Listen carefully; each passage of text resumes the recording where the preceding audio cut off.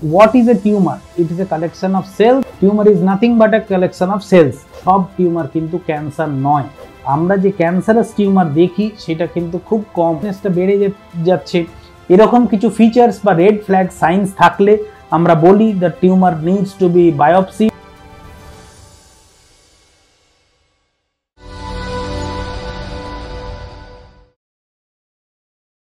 নমস্কার welcome to ডাক্তারবাবু YouTube channel আমি doctor Tanmoy Mondal medical oncologist আজকে আমরা কিছু কথা শুনব regarding tumour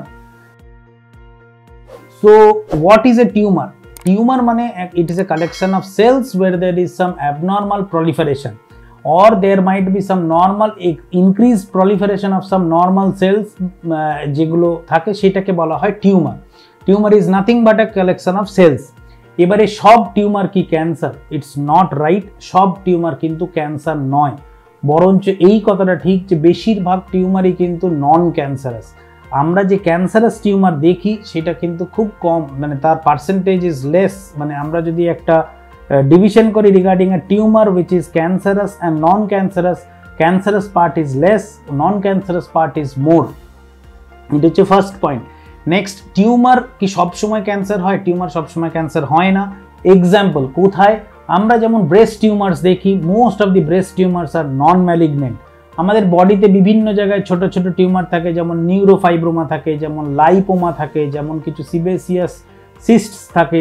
These are all non cancerous tumour same জিনিস ব্রেস্টেতে যেমন ফাইব্রো অ্যাডিনোমা বলে, বা বিনাইন ব্রেস্ট ডিজিজেস থাকে, সেইগুলোও কিন্তু tumour so most of the tumours are non cancerous yes but less percentage of tumour may be cancerous তাই জন্য টিউমার সবসময় হলেই যে বায়োপসি করতে হবে সেরকমও নয়। এনি টিউমার কাদের বায়োপসি করা দরকার? যখন দেখছি যে একটা টিউমার খুব র্যাপিডলি গ্রো করছে বা তার কালার চেঞ্জ হচ্ছে বা তার নেচার বা তার মধ্যে পেন বা পেনলেসনেসটা বেড়ে যাচ্ছে, এরকম কিছু ফিচার্স বা রেড ফ্ল্যাগ সাইন্স থাকলে আমরা বলি the tumour needs to be biopsied or tumour needs to be further evaluated these are certain points regarding what is a tumour আজকের মতন এটুকুনি।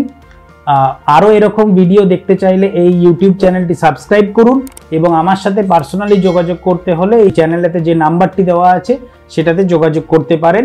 সবাই সুস্থ থাকুন, সবাই ভালো থাকুন। ধন্যবাদ।